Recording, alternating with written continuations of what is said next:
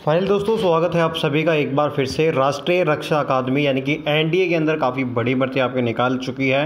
किस प्रकार से आपको फॉर्म सबमिट करना होगा और कौन सी वेबसाइट पे जाके आपको यहाँ पे फॉर्म भरना है, इसके अलावा बात करने वाले हैं सैलरी की और कितने क्या वैकेंसीज आपकी निकाली गई हैं।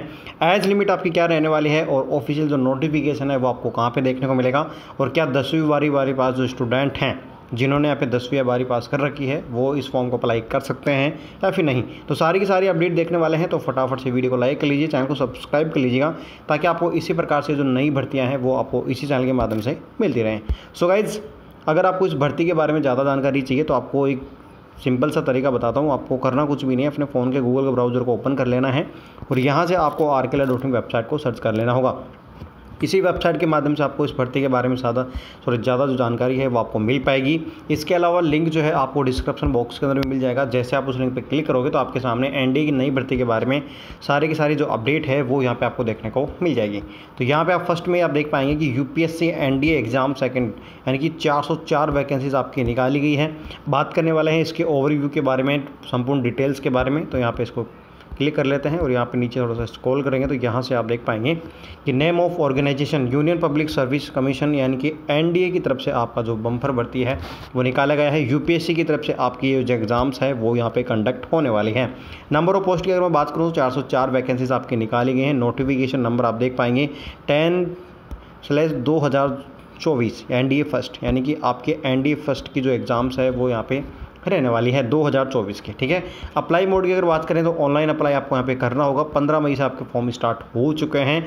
लास्ट डेट आपकी चार जून रहने वाली है। लास्ट डेट का इंतज़ार न करें। अगर आपको फॉर्म सबमिट करना है तो आप इन दिनों ही आप जो है फॉर्म को सबमिट कर लीजिए, क्योंकि लास्ट डेट के अंदर आपकी जो वेबसाइट है, वो काफ़ी ज़्यादा बिज़ी चलने लग जाती है और आपका जो फॉर्म है, वो यहाँ पर रह जाता है।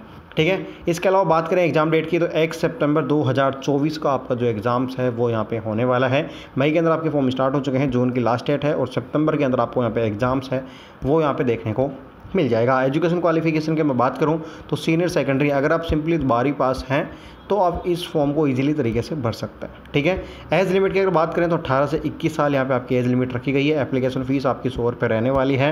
सिलेक्शन प्रोसेस की अगर मैं बात करूँ तो सबसे पहले आपका रिटर्न एग्ज़ाम्स होगा।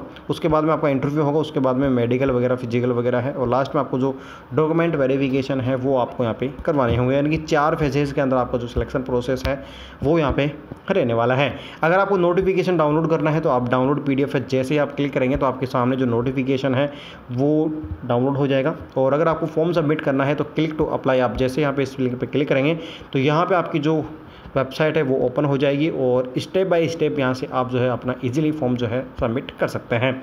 स्टेप्स ऑफ़ एप्लीकेशन सबसे पहले आपको रजिस्ट्रेशन करना होगा। अगर आपने रजिस्ट्रेशन कर रखा है पहले से, अगर आपने पहले से जो है एनडी का फॉर्म सबमिट कर रखा है तो आपको यहाँ पे जो है कुछ भी करने की ज़रूरत नहीं है। आप जो है सीधा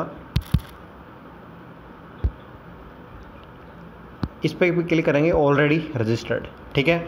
अगर आप न्यू यूज़र हैं तो आपको रजिस्ट्रेशन करना होगा, उसके बाद में आप जो है स्टेप बाय स्टेप अपना फॉर्म यहाँ पे सबमिट कर सकते हैं, ठीक है दोस्तों? फिर भी अगर आपको कोई भी डाउट हो, कोई भी क्वेश्चन हो तो आप नीचे कमेंट बॉक्स के माध्यम से हमें पूछ भी सकते हैं। अपडेट अगर आपको अच्छी लगी हो तो वीडियो को एक प्यारा सा लाइक कर लीजिएगा। सो गैस मिलते हैं नेक्स्ट वीडियो में नई भर्ती के साथ, तब तक के लिए धन्यवाद।